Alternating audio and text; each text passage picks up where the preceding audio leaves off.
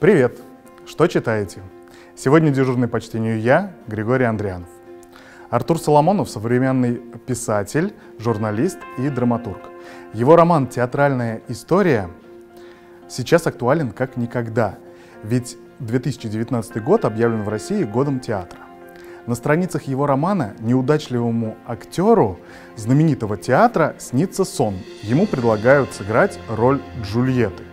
Вскоре его вызывают к режиссеру на важный разговор.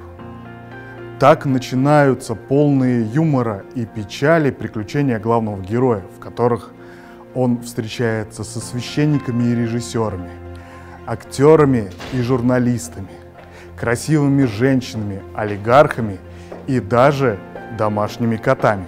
В театральной истории сплетаются смелая социальная сатира и глубокий психологический смысл. Яркий сюжет и смелый юмор. Сам э, мир театра показан здесь трагичный и смешной.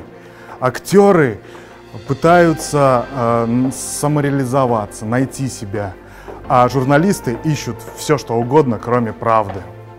Но в театре кипят и другие страсти. Какие? Узнать можно лишь прочитав эту книгу, которую можно найти в центре чтения Дворца книги. А вы читали Артура Соломонова?